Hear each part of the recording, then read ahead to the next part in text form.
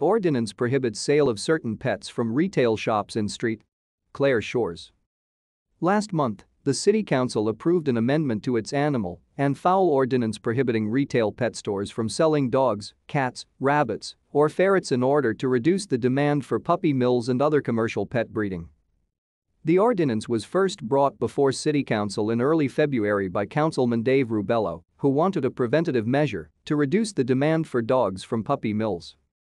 He had received a request from Molly Tamulevich, Michigan State Director of the Humane Society of the United States, for the city to consider such an ordinance.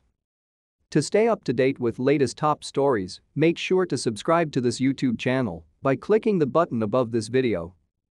According to the Humane Society, a humane pet store ordinance reduces the demand for puppy mill puppies, protects consumers and does not impact responsible breeders. Rubello said amending the ordinance promotes pet adoption, which is what we're after right here, and does not impact humane breeders. He hoped the ordinance would close a gap in the current law to protect dogs from being overbred and young animals from being removed from their parents too soon. This makes so much more sense, I think, in terms of the comprehensive animal ordinance we already had in place, said Councilwoman Candice Rusie February 22. She had said February 7 that she wanted to make sure the ordinance brought before council, a boilerplate from a national animal welfare organization, fit with the city's existing animal ordinance. Over the next month, City Attorney Robert Ihrie worked to incorporate language prohibiting the retail sale of dogs, cats and rabbits within the city of Street. Clair Shores. The amended ordinance also indicates that nothing in this section shall be construed to prohibit a retail pet shop from providing space to an animal rescue organization or an animal shelter to publicly showcase dogs, cats, or rabbits available for adoption.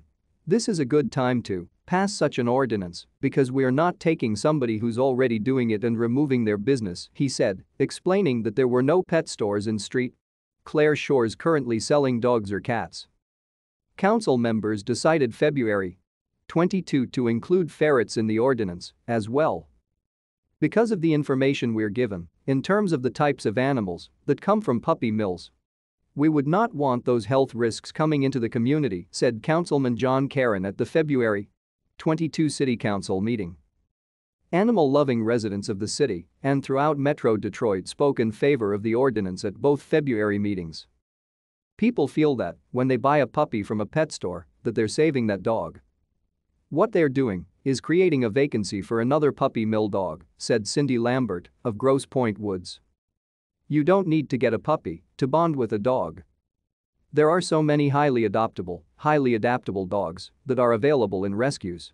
Anne Griffin of Street Clair Shores, the director of advocacy for the Michigan Humane Society, said commercially bred animals often suffer from genetic and behavior problems. The ordinance will protect people and animals in the city, she said. There are already so many dogs in need of a home due to people not recognizing the work and care puppies require, said Maya Mahidli of Street. Clair Shores, a member of the Statler Maloof Dog Park Committee. That often leads to euthanasia of these animals, she said. While puppies seem great, they often end up at these shelters due to families not realizing the needs of puppies. Many residents will support the ordinance, said Joyce Janicki of Street Clair Shores.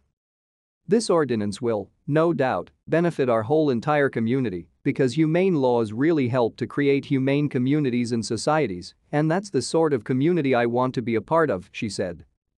Councilman Peter Accica said that preventing the sale of animals from commercial breeders does not stop anyone from getting a younger animal. It's not like you can't get a puppy from a rescue. You can, he said. Council voted 7-0 to approve the ordinance February 22. What we're doing is the right thing, Rubello said. We're doing the right thing for the right reasons with our pets.